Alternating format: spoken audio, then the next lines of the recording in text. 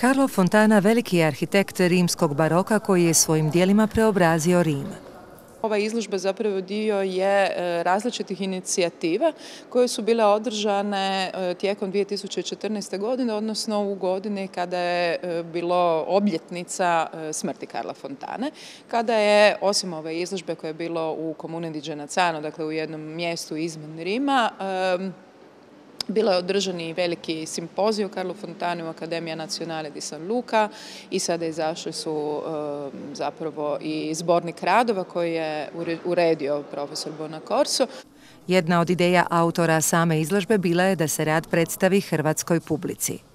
U 11. mjesecu izložba je bila predstavljena u Hrvatskom muzeju arhitekture Hazu u Zagrebu i dobar odaziv na koji je naišla zapravo ponukao nas je da e, upitamo zapravo Dubrovačku biskupiju i e, kolegu Ivana Viđana s kojim također surađujem niz godina, da li bi bili zainteresirani zajedno da ostvarimo jednu lijepu suradnju u danima kršćanske kulture i da kako oni su bili vrlo zainteresirani i e, stoga nam je velika čast zapravo da možemo biti ovdje u Dubrovniku kao gosti upravo Dubrovačke biskupije, jer eto, Karlo Fontana je imao svoje prstiće u realizaciji najvažnije crkve ove biskupije. Donedavno su se u historiografiji isticala četiri velika imena Carlo Moderno, Francesco Boromini, Gian Lorenzo Bernini i Pietro da Cortona. Historiografija je puno raspravljala o dijelu Karla Fontane koji kronološki slijedi nakon spomenute četvorke rimskoga baroka.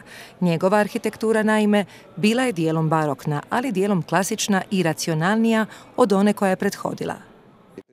Stoga će Carlo Fontana zapravo graditi za jedno novo društvo koje ima nove potrebe u drugoj polovici 17. i početkom 18. stoljeća. Naime, tadašnje društvo se transformira i potrebni su novi arhitektonski tipovi koje će upravo Fontana ponuditi. Među ostalim tu su carinarnice, bolnice, zatvori i slične građevine koje će Fontana tipološki razviti. Con nuove costruzioni, con nuove tipologije. Fontana je bio ključna figura i uzor mnogim mladim arhitektima iz cijele Europe. Upravo zato Fontana će biti kontaktiran kao savjetnik u izboru arhitekata koji će u nekom svojstvu biti involvirani u rekonstrukciju nakon velikog potresa iz 1667. I to je jedan od razloga zbog kojeg smo doveli izložbu u Dubrovnik. Izložba ostaje otvorena do 22. travnja.